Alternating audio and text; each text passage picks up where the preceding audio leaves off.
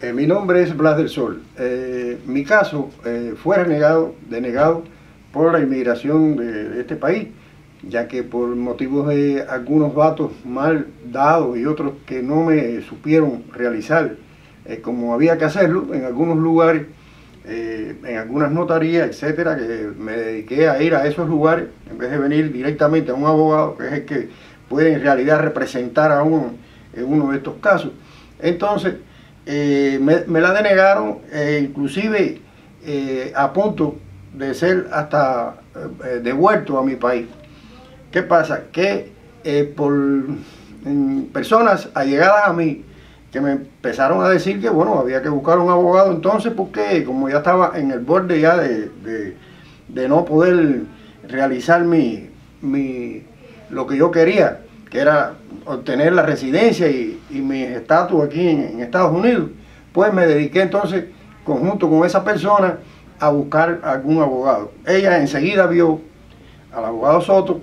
en el, en el, teléfono, buscándolo por Facebook, por donde fuera, por ahí, porque ya había una recomendación sobre él, que era un, abogado bastante eh, asequible y bueno para todos estos casos de inmigración. Eh, nos dirigimos hacia él y estuvimos Mm, eh, eh, hicimos todo lo que había que hacer para llegar hasta él porque eh, esa persona llegada a mí siempre me dijo que tenía mucha fe en él porque por otros casos que además que se habían resuelto esperaba que el mío fuera también resuelto como los demás ya que no, se veía una, una profundidad en, el trabajo que se me había hecho por primera vez y que fue denegado ah, mm, fui atendido aquí muy especialmente eh, las atenciones fueron muy buenas, eh, me corrieron todos los trámites, esperé hasta que me avisaron, hasta que inmigración me avisó. Y hoy en día, eh, gracias a ellos que se esforzaron muchísimo para poder resolver mi situación, pues, y por lo que conocen de todas las leyes y todas las, resoluciones y todo lo que hay,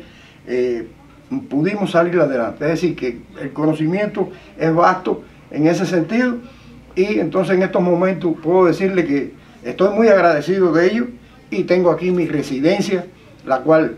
muestro para que vean que es una realidad y que estoy de lo más contento porque ya soy un residente más en este país.